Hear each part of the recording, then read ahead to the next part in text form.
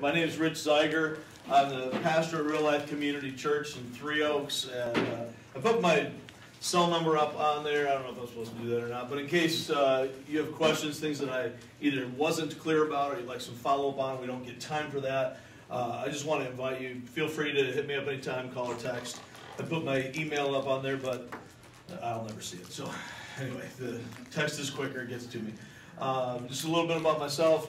Uh, grew up in the area, grew up in Three Oaks, uh, went to River Valley High School and graduated from there, and our whole family has been there forever. So uh, when I saw Gary Schaefer here, that was pretty exciting. Uh, got got some fellows from down there.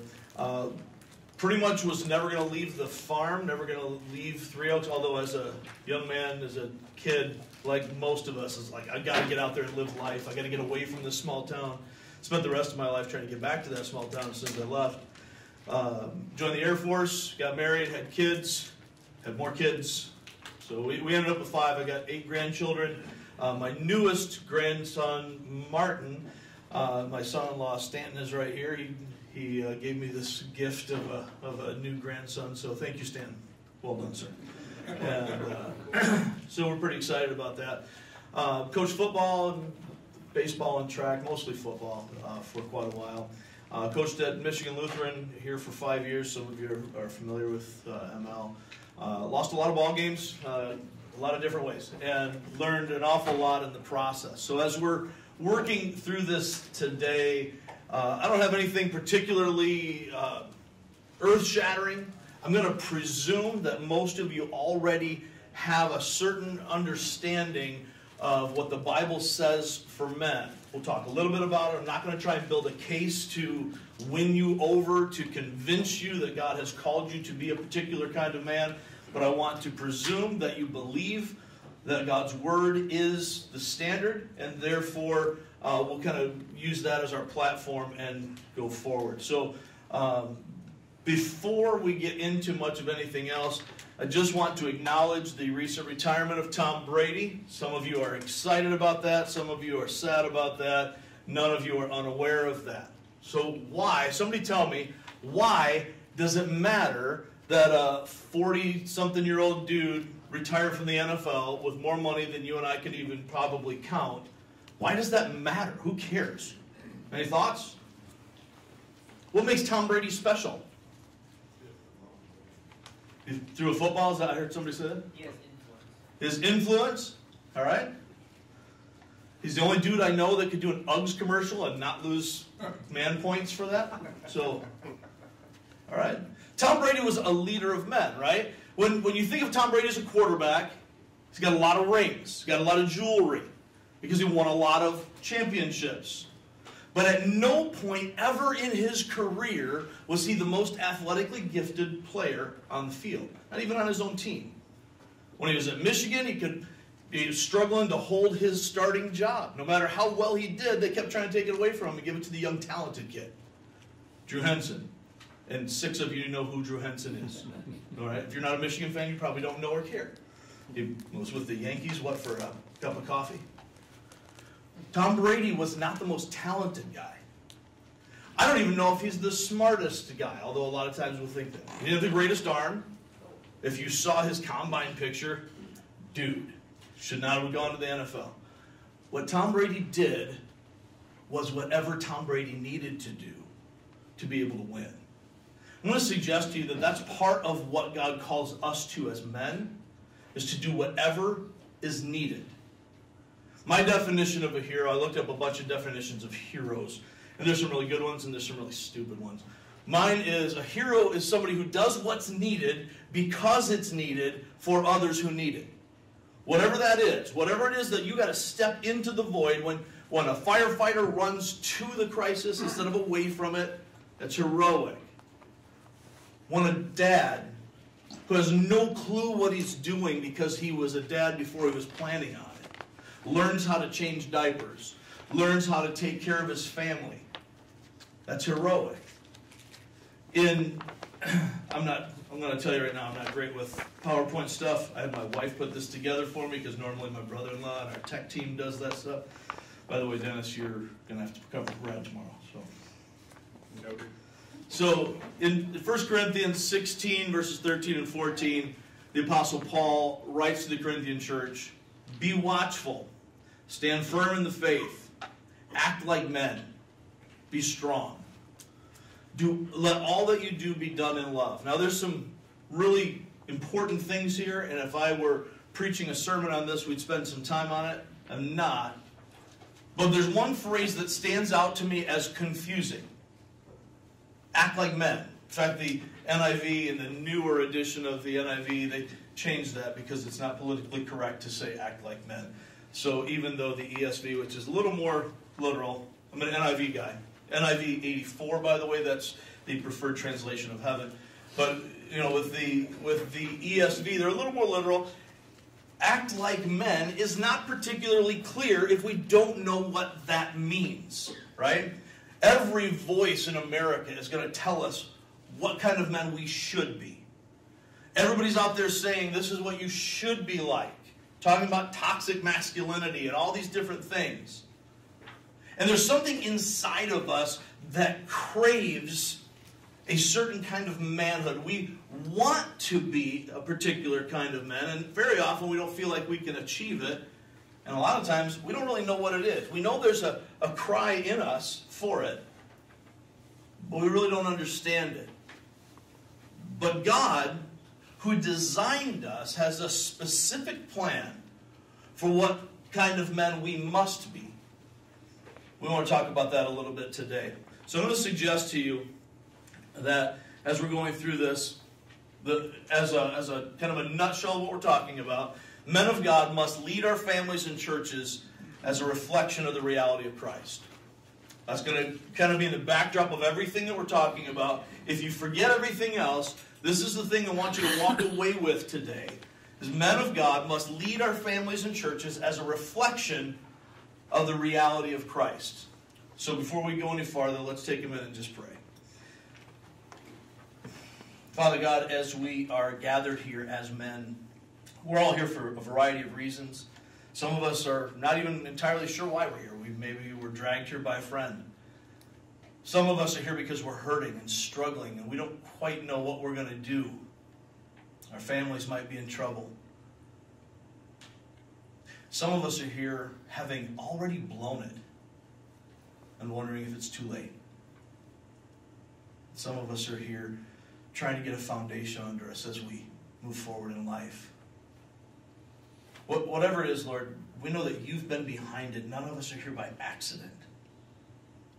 So we ask that you would open our eyes, our minds, our hearts, that we would hear not what we want to hear, not even what the speakers necessarily intend, but what your Holy Spirit has called us to glean from your word. Help us to build on wisdom. Speak beyond your servant's faltering tongue today, Lord. We pray this in Jesus' name. Amen. Amen. So, as we get started talking about men of God, you know, this idea that we must lead our families and churches as a reflection of the reality of Christ is a multifaceted thing. Uh, they've only allowed me a half an hour to, to do this session, and these guys up here who have gone to real life know, man, I can't even blow my nose in half an hour. So that's we'll do what we can do, and we'll, we'll get through it. But I want to. Um, I know that a lot of us don't have Bibles with us, so I'm going to put some of these things on the screen for you. Uh, I want to draw your attention uh, to the theme verse that we've been looking at today. This this press on idea uh, from Philippians chapter three. And the reason I want to bring this to you is because for some of us you know, I know I might look super young with my white beard, but you know, I've already raised my kids. One of my sons is here. I've got one daughter left at home. She's 15. She's going to be there for like 20 seconds more, and then she's gone. And it can be really overwhelming to feel like, man, I fall far short of the mark that God has for me and I've blown it. And I don't know what I can do because I don't have a, a DeLorean needing to hit 88 miles per hour so I can travel back in time and fix this. I can't fix it, I can't undo the past. But Paul tells the Philippian church, in the midst of this very joyful letter, while he is incarcerated, And, and he's telling them about the character of Christ in chapter 2 and how all of our attitudes should be like this. And he brings them to a point of perspective, seeing the long view, as Chuck Swindoll would say, of things. But in chapter 3, he says, Listen, not that I've already obtained all this, or I've already arrived at my goal, but I press on to take hold of that for which Christ Jesus took hold of me. Brothers and sisters, I do not consider myself yet to have taken hold of it, but one thing I do, forgetting what is behind and straining toward what is ahead, I press on toward the goal to win the prize for which God has called me heavenward in Christ Jesus. I just realized I forgot to start my timer here. That's going to cost me. I hear you, Gabriel. I know it's usual. Here's the thing men get bashed a lot in our society. Amen? Right? Sometimes we can feel really beat up. And the pressure to be a man is already, from the jump, very, very heavy. That's by God's design. I'm going to tell you that right now. God intends for you to feel pressured and stressed and hand it over to Him. In a few minutes, we're going to look at, at the creation account, just pieces of it in the first three chapters of Genesis. Because God created us to be a representation of him in the world, to be his, his vassal kings, his sub-regents. In other words, we're to be his managers, his stewards, as representatives of his kingdom rule.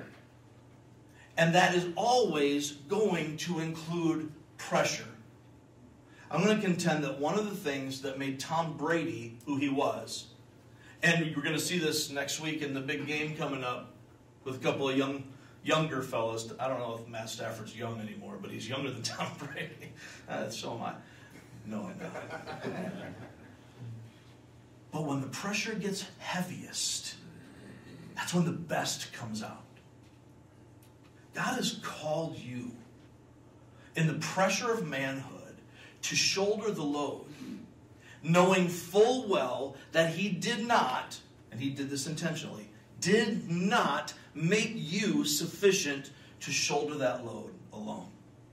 A couple of things that we want to pay attention to. When we live out God's purpose for us as men, when we do this God's way, six things at least take place. One, we are fulfilled. We find our sense of fulfillment, our significance. Many men are searching for meaning, and we feel lost in a world that has kind of stripped away masculinity from us. If you're familiar with uh, Eldredge's uh, book, uh, Wild at Heart, that's kind of the whole premise of his ministry. Is God made us for a thing, and the world has taken the thing, and we've abdicated the thing, we've abandoned it, and we need to get back to the thing. When we live out God's purpose for us as men, we find ourselves fulfilled. We, we achieve that understanding of meaning and significance. Second, we see that women are blessed believe it or not, contrary to what we've been told for the last 40 plus years, women want you to be men. Your women, your wives, your future wives, even, believe it or not, your ex wives want you to be God's man. They may not know that's what they want, but when we do God's thing God's way and we fulfill this purpose, the women around us are blessed. They're not put upon, they're not demeaned or belittled, they're not bullied or coerced. They're blessed and they're led. Third, we see that children are shaped. Very often, uh, we've grown up with fathers who were distant or demanding, or uh, they acquiesced to our every desire and spoiled us. And some of you had really good dads, and they still did all those things. None of us had perfect fathers. None of us are perfect fathers. None of us will be perfect fathers. But when we do life as men the way God intends, whether you are a father or not, you provide something in family and society that shapes children in a way that honors God. Fourth, we see the church is edified when Paul says, I don't allow a woman to, to teach or to have authority over a man, he is not saying in any way, I wish we had time to develop this, we don't. He's not saying that women are not equipped or sufficient or good enough or smart enough. He's not saying that they are less in value. He's saying there is a specific role in the church that God has designed to portray a specific relationship, specifically God's relationship to his people. And when men and women in the church take the role that God has assigned, rather than deciding, I get to make this call, the church is edified, it's built up, and it becomes what God intended. Fifth, the world is impacted. The world around us, not talking about you're going to be globally famous and, and everybody's going to be changed, but your world, the unbelieving world around you, outside of your church, outside of your family, is going to be impacted by your presence as a man. And lastly, and most importantly of all, God is glorified. That's the purpose for which we were designed.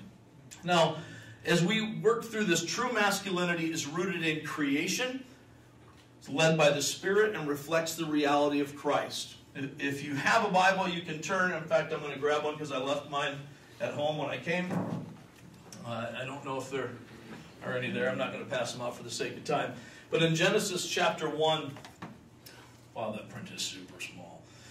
Genesis chapter 1, it gets smaller every year, amen? Uh, we see this very well known beginning. In the beginning, what?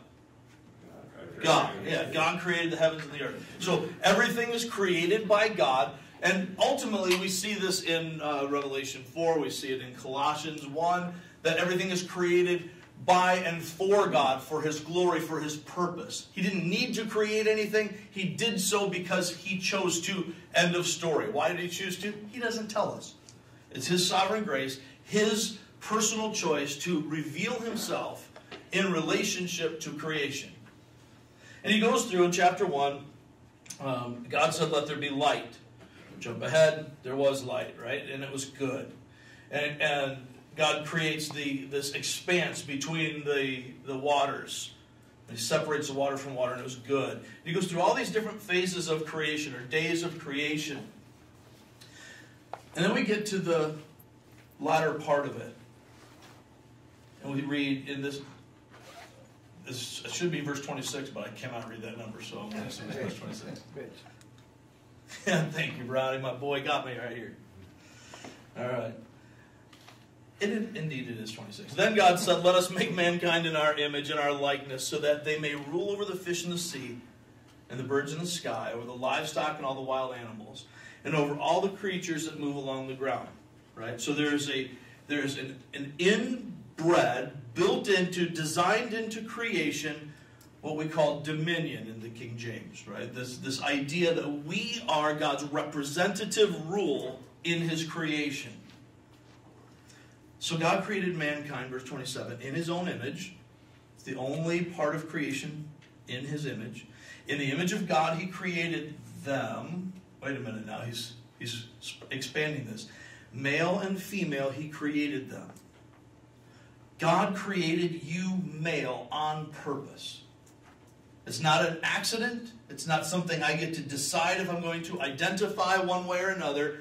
God made you the way He made you on purpose by His design. Jumping ahead to chapter 2, He gives us a little bit of a breakup. We see Adam and Eve created, starting in verse 4. This is the account of the heavens and the earth when they were created. And the Lord God made the earth and the heavens. So, having made everything good, humankind very good, He gives us the details of how this works out. Not the scientific details, but the relational details. He's looking for a helper that fits the man. Now, don't misunderstand. He's got all kinds of animals there that could be very helpful. He can train a monkey to do what he wants him to do. He can put his stuff on a donkey and have him carry it. Animals are helpful, but they're not peer helpers. They're not of the same kind.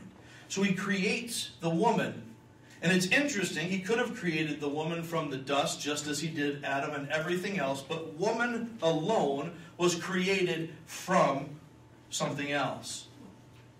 For Adam, no suitable helper was found. Chapter 2, verse 21 So the Lord caused the man to fall into a deep sleep.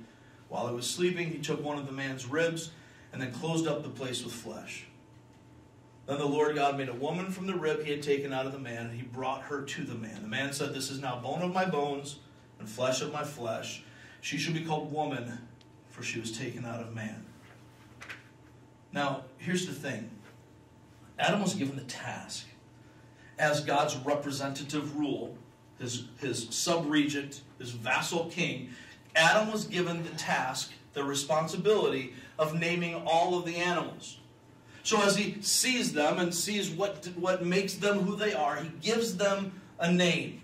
Not Joe or Fred, but what kind of a name? What, what is this animal?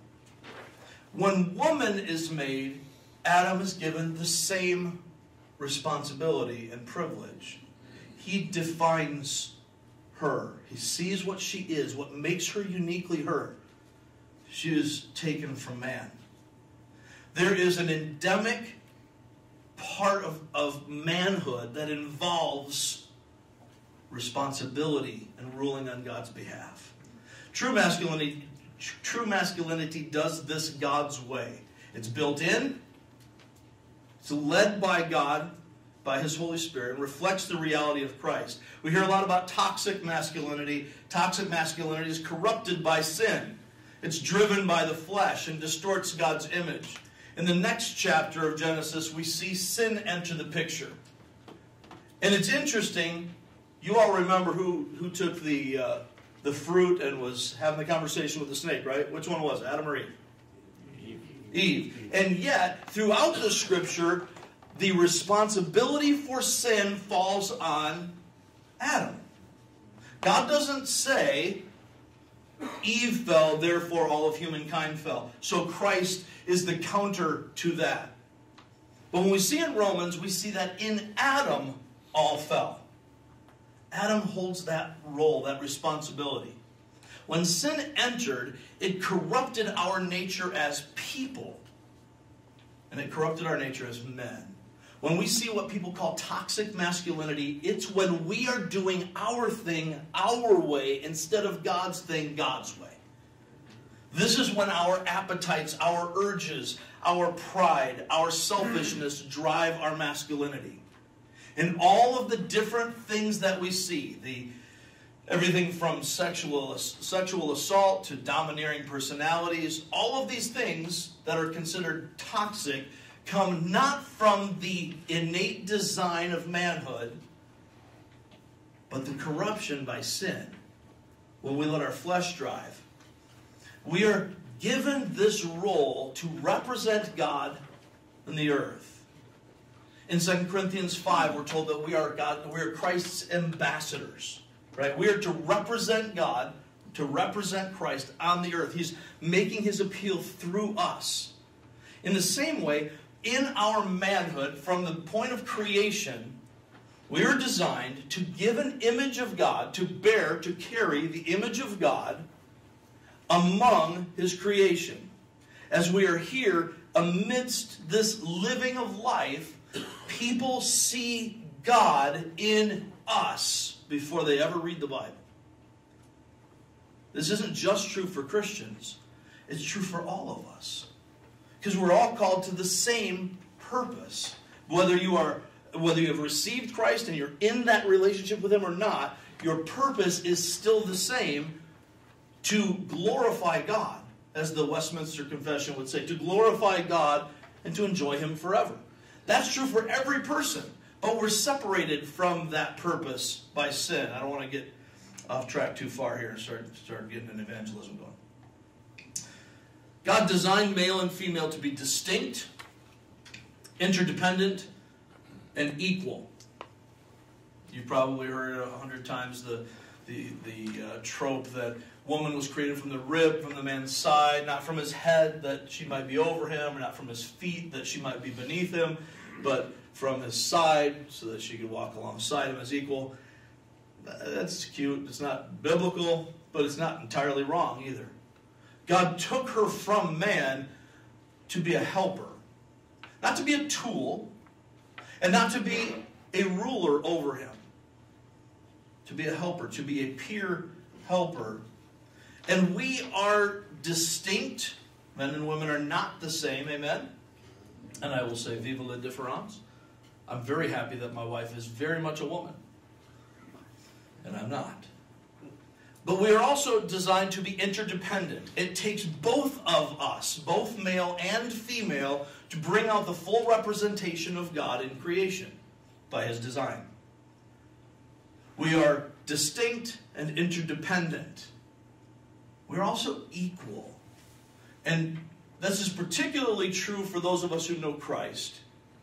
Christ redeemed sexuality. And I don't mean the reproductive aspect of it, but our gendered living, as God created us male and female. In Christ, this is redeemed. Not that it has changed, but we have changed. As His grace has changed us, we now recognize what was true from Eden on. In Christ, there's no male or female. We have different roles. We're created with the same worth. Right? If you're a sports fan, if you love football, then you'll understand what I'm saying. If you don't, then I'll pray for your soul. But as we are talking about sports, who's the most important player? I'll change, since Gary's here, I'll change to basketball. Who's the most important player on the court in a basketball team? It, it depends on what's needed, right? If you need to take a shot, your shooter's most important. If you need to make a pass, your passing is most important. The, the position isn't the point. One's not more important. Each one has a different role. And it breaks down when your point guard decides he doesn't want to distribute the ball anymore. When your post player decides everything needs to run through him. If that's not the design, things go haywire. When we think that, when we think that, that one position is more important than another, then we lose it. Same is true with male and female. Now, all people exist to reflect God's glory and intimacy with Him. I, I, I want us to understand this because this is the heart of the gospel. All of us exist to reflect God's glory in an intimate relationship with Him, but sin separates us from that relationship. Praise God, in Jesus Christ, we have a way to restore that. Because by God's grace, He took our sin to the cross offering us new life in Himself by uniting with Him. This is true for everyone, period. those who belong to the Lord, those who have entered into that relationship, now because who are aligned with Him, we must reflect the reality of Christ through our relationships. Truth and love work together for the Christian. Now, for men, God calls men to illustrate the authority and character of Christ through loving leadership. And I'm at the end of my time, but I want to draw your attention to the best picture I know of that in Ephesians 5. It's about marriage, but it's not really just about marriage. This comes in, in uh, a book that is really about who we are, our identity in Christ. And the second half of the book is what does it look like to walk that out? Ephesians 5:21 gives a command to all of us to submit to one another out of reverence for Christ. But here's what we see in Ephesians 5 following that. As he says this is what it looks like. Wives, submit yourselves to your own husbands. That doesn't mean she submits to everybody. You're not married, this is not the call. But wives, submit to your husbands as you do to the Lord. For the husband is the head of the wife, as Christ is the head of the church, his body, of which he is the Savior. Now, as the church submits to Christ, so also wives should submit to their husbands in everything. And to this, all the men say, Amen. But then he gets to the bigger paragraph and the bigger challenge Husbands, love your wives just as Christ loved the church. Oh, it's great, I love my wife. No, no, no, no. Just as Christ loved the church and gave himself up for her to make her holy, cleansing her by the washing with water through the word, and to present her to himself as a radiant church, without stain or wrinkle or any other blemish, but holy and blameless. In the same way, husbands ought to love their wives as their own bodies. This requires sacrificial love, not an affection, but a choice to take responsibility. He who loves his wife loves himself. I'm going to jump ahead for the sake of time. Okay, this this idea here is, is the picture of Christ and the church. And so the difference here between man and woman is not in value, but in role. We are called together, marriage is the, the, the, ultimate picture of this, but we are called to specifically illustrate Christ and his church. A biblical manhood is responsibility. We take the role of Christ, whether we are married, pre married, post married, whatever our situation is, it's not tied to that. The sense of responsibility that we draw from this to do good for and to bring holiness to the women and children and world around us is the primary distinction between our roles. When we fail to do our job, the whole team suffers. Is the quarterback more important than the guy blocking for the quarterback? Depends on if he's getting hit. Right? We've seen that just recently. If I don't do my job, somebody else has to step up. Why did radical feminism take over our society? Because men failed to be biblically masculine. When we failed to accept our responsibility in leading our families, our churches in love, we left a void, a vacuum that needed to be filled. And women had to step up. They took our spot because we left that vacuum. Now, I want to tell you if you are the leader, you don't have to tell anybody that you're the leader, right? Tom Brady is out there banging his chest saying, Hey, I'm the quarterback. Respect me. He's doing the job. And when you do the job, the respect comes. If you're going to bang your chest to tell everybody you're the leader, guess what? You're not. You're not the leader. When we love our wives, when we lead our families out of a sacrificial love, they're blessed. Our children want to follow our example because we look like Christ. When we fail to do our job, the whole team suffers. Let me wrap this up with some, some thoughts. Christ like leadership from us requires at least these 10 things a passion for God's Word. You might think, oh, I'm not a Bible scholar. God didn't call you to be a Bible scholar. There's nothing in the scriptures that says this is a Bible scholar. He called you to be a Bible student. A scholar is a student who stuck with it. Get a passion for God's Word, cling to God's Word, and put in the work to learn God's Word. It requires godly wisdom. James tells us in his letter if any of you lack wisdom, if you're not sure what to do, ask God. He gives generously without finding fault. Wisdom doesn't mean that you're the smartest guy. You don't have to handle all the specific jobs yourself. In my family, my wife takes care of the money. Praise God. We're all happy for that.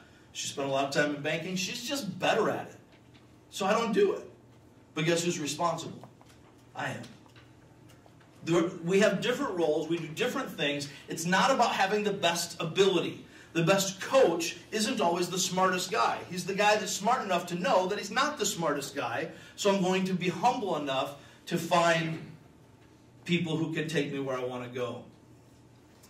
Christ like leadership requires embracing benevolent responsibility. In other words, I take ownership of this responsibility not for my glory, but for your good. I want to do what's best for my wife, for my family, for my community, for my church. It's not about position, it's about seeking what is best for others. Christ like leadership embraces benevolent responsibility. It also requires stability despite circumstances. This is one of the primary hallmarks of maturity. When we freak out, that is a sign of immaturity, of a short view. We need to take a long view, as we heard in Larry Osborne's session. We need to live like we know how the outcome is going to turn out. We know who wins. So we live under God's dominion, reflecting God's dominion, knowing that ultimately He wins. We don't have to freak out under any circumstances. It involves perseverance under trial. You will be tested, things will go wrong, stuff gets hot, it always does. Manhood stays.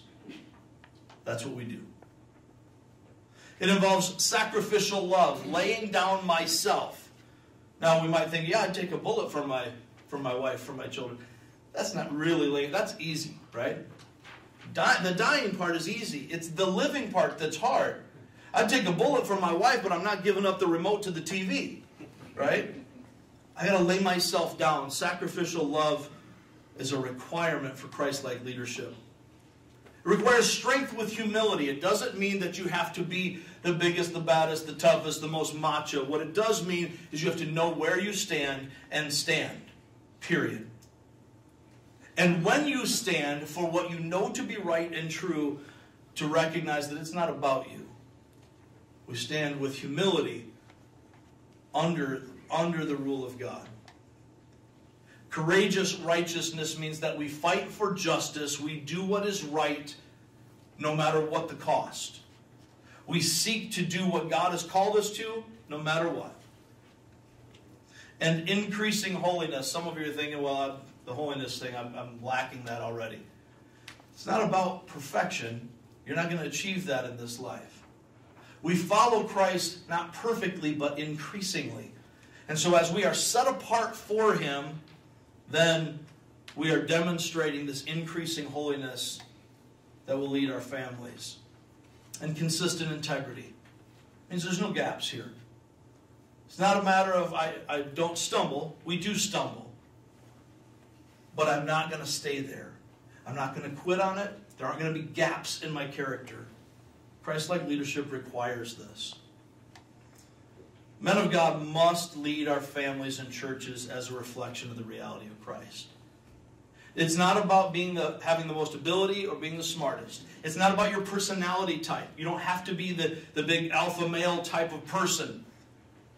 None of these requirements we just talked about require any of those personality traits. They don't require a particular training other than developing a passion for God's Word. What they require is absolute submission to the Lord and an absolute love for His people, specifically those He's put in our circle of influence. You're going to hear Pastor Marvin talk more specifically about that uh, in his keynote and what it means to be a liberating leader as men. So for now, let me leave you with that thought. Men of God must lead our families and churches as a reflection of the reality of Christ. When we do what we're called to do, they will see and glorify our God. Let's pray. Father, thank you for bringing us together today. Open our eyes as we go through this. Help us to worship together. Help us to live in a way today that will carry out into the rest of our lives, into our daily when we go back home. So this isn't just a one off moment on this Saturday. We pray all this for your glory. In Jesus' name, amen. Amen.